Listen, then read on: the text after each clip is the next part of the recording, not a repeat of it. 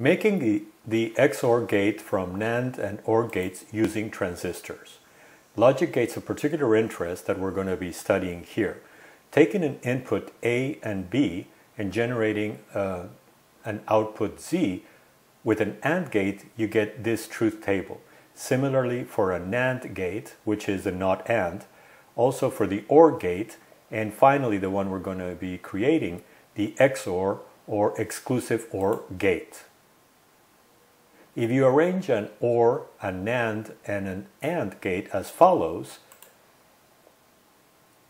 you get an XOR gate. So why do we care about these particular gates? Well, from these gates you get to an ALU. You create an arithmetic logic unit. The steps are the following. You take an XOR gate an AND gate and an OR gate and you create this device called an adder. If you put four of those adders combined, then you get this device called a 4-bit adder. And if you then take that 4-bit adder, combine it with XOR, NOT, and AND gates, you get the arithmetic logic unit, or ALU. So next steps. First of all, let me just mention that there are additional resources listed in the description section that you may find useful. But for now, let's build some circuits. These are the shopping lists for the two circuits that we're going to build. The one on the left is actually for the NAND and the OR gates that we're going to put together. And then we're going to combine them into the final shopping list on the right with the circuit that's going to combine the NAND and the OR gate and it's going to create a an XOR gate.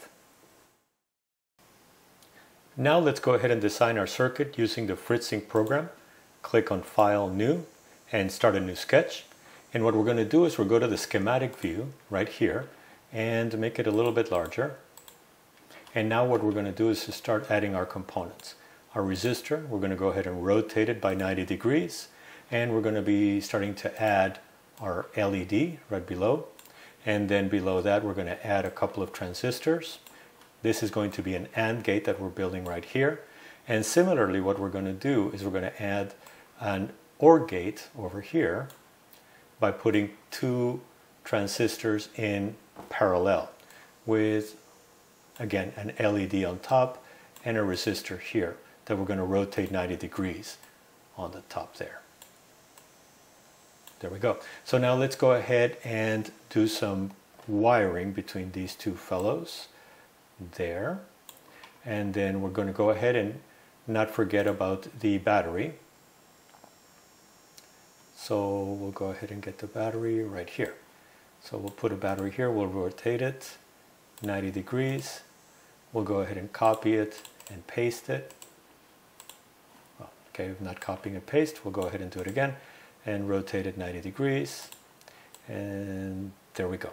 So now what we do is we join this fellow to here and we do this and then we join this fellow up here to here and we do it like that.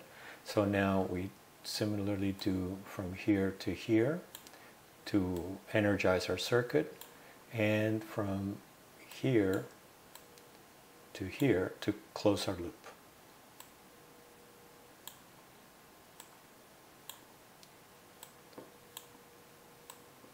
There we go. So now let's make sure that we, oh, we forgot almost one thing to go ahead and put in the resistors right here. See if we can move that fellow there to give us more room. Another resistor back here. There, there. And now the 1K resistor here and another 1K resistor here. Now what we can do is just pretty it up a little bit by making sure that our components are the right values. So we'll put that one at 1K, that resistor at 1K also. So the input resistors to our base of our transistors are all going to be 1K. And we change that in the AND and also in the OR diagram. And this resistor right up here is going to be 100 ohms. Now in my circuit, I didn't have a 100 ohm resistor. So I ended up doing two 220s in parallel. But this is the idea here. Oh, and then the LED, we're going to use a green one, which takes a little bit less voltage to activate. So I think it's 560. But either way, I mean, at that point, it's an LED. Uh, you should be able to use any LED. The one I tried was the green one, so we'll just do it here. So at this point then, we notice that we have an input here and an input here. This is A and B, and whether this light turns on or off is going to be our Z, or our uh, output. Similarly for the AND gate, this is going to be the A entry and the B entry, and then here it's going to be the uh, whether that, that comes out or not. So actually we could actually put something like this here and like this here to, to pre it up even a little bit more. And similar to here, although I'm running out of space. But you get the idea. So right, this is the building of the circuit of an AND gate and an OR gate. So in fritzing we have our AND gate and our OR gate and the next step is going to be to combine them. So we're going to follow this type of schematic to combine them. So let me explain. That right there is our AND gate. And now we've gone ahead and added this little component here, a fifth transistor that's going to be a NOT. And essentially it's going to be an inverter. And then over here we have our OR gate.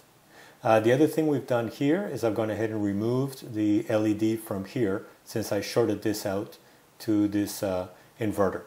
Uh, something else you'll notice is we've gone ahead and wired this switch over to this uh, connector, this input right here, so that we can drive both the AND and the OR at the same time.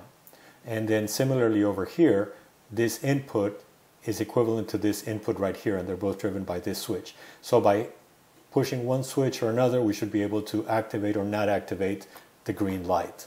And that's what we're going to go for. Now, this is what we expect our circuit to look like in the breadboard view. Again, this is our NAND gate and this is our OR gate and these are the joining connections. These two circuits are gates. This is an AND gate and this is an OR gate. Let's start with the OR gate. The truth table says that 0 and 0 result in 0. 1 and 0 result in 1. 0 and 1 result in 1, and 1 and 1 result in 1. Similarly for the AND gate, 0 and 0 result in 0. 1 and 0 result in 0. 0 and 1 result in 0. And 1 and 1 result in 1. Now let's combine them and make an XOR gate. So after a little bit of construction, we've gone ahead and combined our AND gate and our OR gate. Notice also that we added an inverting component here in the middle with this transistor. So now, if we have the inputs A and B at zero, we have a zero. If we have one and zero, we have a one. If we have zero and one, we have a 1. And if we have zero, 1 and 1, we end up with a 0. So that's the truth table for an XOR gate. So in summary, we've started from transistors and essentially made a NAND gate here on the left and an OR gate here on the right. We've combined them into a, an AND gate such that from those two components, we've actually built an XOR gate.